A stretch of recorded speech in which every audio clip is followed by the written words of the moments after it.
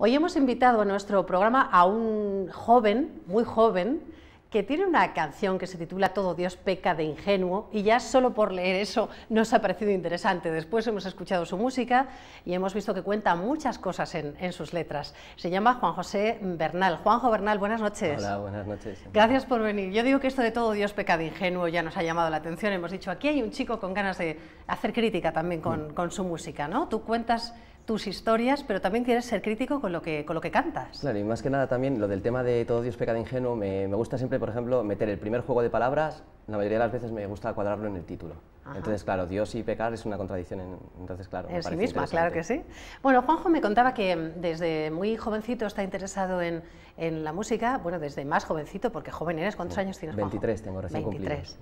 Bueno, desde que eras muy pequeño te interesa la, la música, te interesó menos eh, estudiar, pero tú siempre dijiste, a mí me gusta ir por este camino. Y empezaste a aprender música tú en, tu casa de manera autodidacta, ¿no? Me contabas. Sí, empezó toda a raíz, bueno, apareció por casa antes de tener este teclado, un teclado así de enano con una sola octava y bueno, octava y media y no...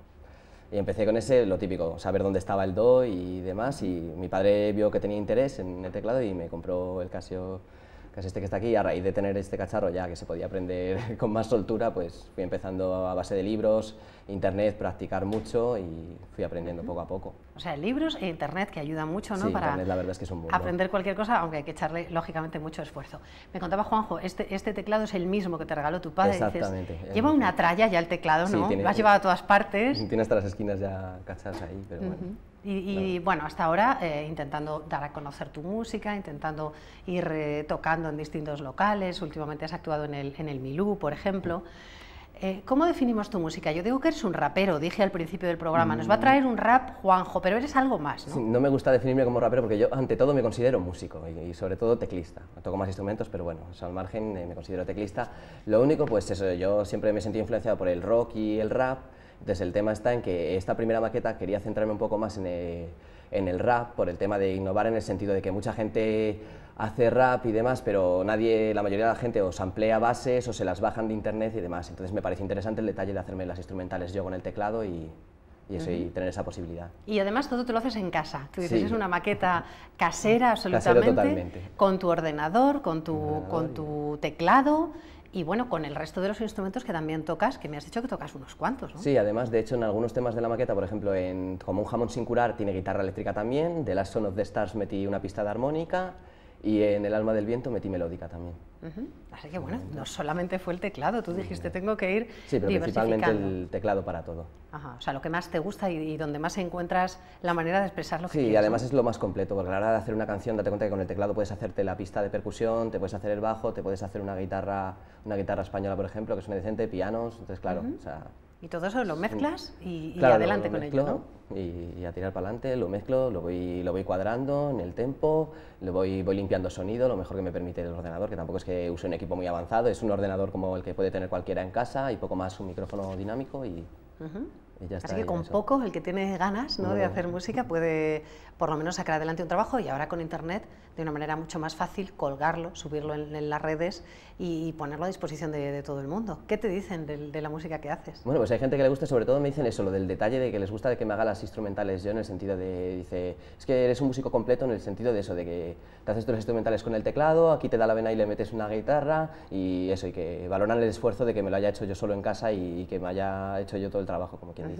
Después vamos a ver un, ejemplo de cómo canta y cómo toca Juanjo Bernal, de cómo es su música, pero cuéntanos ya para, ponernos en, bueno, para, prevenirnos de cómo va a ser tu, música. Tú eres crítico, decía yo antes, ¿no? Eh, intentas reflejar un desencanto en, muchas eh, cuestiones en torno al mundo y otras veces no tanto, ¿no? Porque hay alguna canción que le dedicas a tu chica que esa de desencanto nada, ¿no? Claro, por ejemplo, suelo, sobre todo emociones, suelo escribir sobre emociones por el sentido de que no sé, me parece, por ejemplo, hacer una, tema sobre, una letra sobre un tema insustancial o sobre cualquier bobada en plan de esperar que sea la canción del verano o eso, pues me parece una gilipollez y me parece una vergüenza como músico considerarse músico si te dedicas a hacer eso. Entonces realmente yo quiero expresar lo que yo siento con mi música, lo que, como yo veo las cosas y ya está. Y es solo una opinión, puede ser más subjetiva o no, pero oye, cada uno que analice, que saque sus conclusiones, yo solo quiero compartir, compartir mi mensaje. Bueno, que no es poco, es contar algo y, compartirlo. ¿Le llegará a la gente de, de tu edad, sobre todo a los de 20, 20 y tantos o no necesariamente? Puede llegarle a cualquiera de 40 o 45. la edad no, no, importa, lo que importa es la mente que tengas, a la hora de la mentalidad y lo receptivo que seas, o a la hora de, de los gustos que tengas, porque claro, a lo mejor alguien puede decir, pues me gustan tus letras, otros pueden decir, pues no me gustan tus letras, o, o lo que sea, o me gustan tus letras, pero no me gusta cómo, cómo cantas, cómo las cantas, o cómo tocas el teclado, o cualquier historia, ¿sabes? Allí ya depende de la persona. Bueno, ahora nos vas a interpretar una, una, canción, yo decía, esa que le dedicas a tu novia, ¿no? A tu chica, que es La Luz Más Cegadora. La Luz Más Cegadora, La Luz Más Cegadora, que es ella, ¿no? La Luz Más sí, Cegadora. está claro. Ya lo ven, ¿no? Que viene con su gorra de rapero, con su aire de rockero, pero ahí está esa parte romántica también, ¿no? Bueno, Las... la gorra más que de rapero es porque no me da tiempo a peinarme, ¿sabes? Digo, no. Vale, es para ocultar entonces el, Sí, la falta de peinado. Hago una frase referente a eso en la, en la canción, lo de no llevo gorra para atrás, y bueno. Pues si te parece, Juanjo, te voy a pedir que te recoloques un poquito. Vamos a, acercarnos ese micrófono, si te parece. Sí. Ya les pido siempre a los, a los músicos que vienen a nuestro plató que, en fin, que se pongan manos a la obra, sean un poco comprensivos, porque efectivamente esto no es un estudio de, grabación, y les agradezco mucho a todos que pasen por aquí, por el plató de, de la 8, y nos traigan su música. Aprovecho para decirles a los que están en casa y a lo mejor quieren también compartir con nosotros su trabajo, que se pueden poner en contacto con nosotros para eso o para cualquier cosa en, nuestra, en nuestro correo electrónico, que es salamanca es así, arroba rtvcyl, Castilla y León, eh, Salamanca es así, arroba rtvcyl.es. Ahí nos pueden hacer llegar sus maquetas, sus músicas, sus canciones o sus comentarios y sugerencias. Juanjo, ¿todo listo? Sí, estoy listo. Pues vamos a escuchar Todo Dios peca de, De ingenuo. ingenuo. Adelante.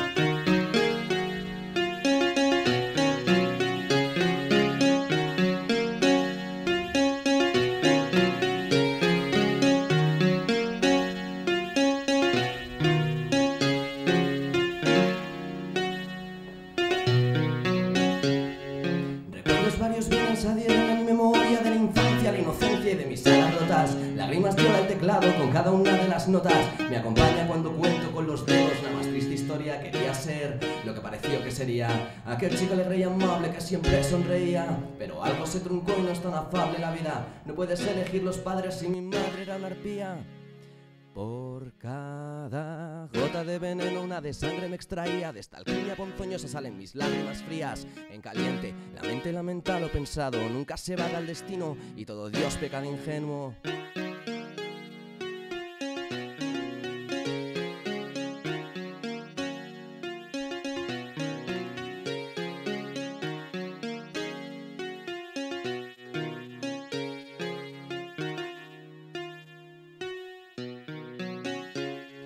Avancemos en el tiempo hasta la adolescencia, un chiquillo difícil movido por la imprudencia, sin paciencia, con dependencia, sustancias, si quieres más referencias, pregúntale a la policía, alguien me dijo una vez, la música mansa a las fieras, debe ser pues cuando toco el teclado me elevo a la estratosfera, si quieres a mi bola o si no a mi esfera, alma de músico de rock con influencia rapera.